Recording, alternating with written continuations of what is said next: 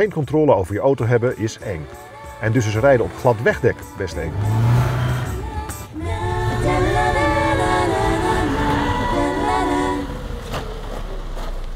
Sneeuwkettingen en winterbanden helpen natuurlijk.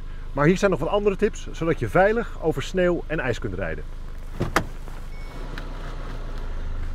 Ja, dit is wel een spekgladde ondergrond. Wil je nou voorkomen dat je auto zich gaat ingraven als je wegrijdt, of dat je spinnende wielen krijgt als er uh, ijs ligt, rijd dan heel rustig weg. Zo krijgen de banden de kans om grip te pakken. Als je nou wilt dat je echt mooi rustig wegrolt, dan kan je hem natuurlijk ook gewoon in z'n twee zetten en wegrijden.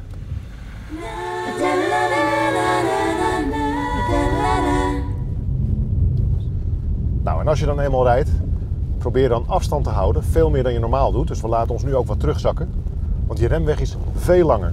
En dat geldt ook als je winterbanden hebt. Sturen doe je nooit abrupt, maar je moet allemaal rustige bewegingen maken, zodat de wielen de tijd krijgen om grip te pakken. Ga je te hard een bocht in en rem je, dan heb je kans dat de auto gewoon rechtdoor glijdt. Dat heet onderstuur. Probeer juist niet te remmen, maar laat het gas los en stuur. Dan krijgt de auto zijn grip terug. Kijk vooral in de richting waar je naartoe wilt en dus niet naar die boom waar je niet tegenaan wilt knallen.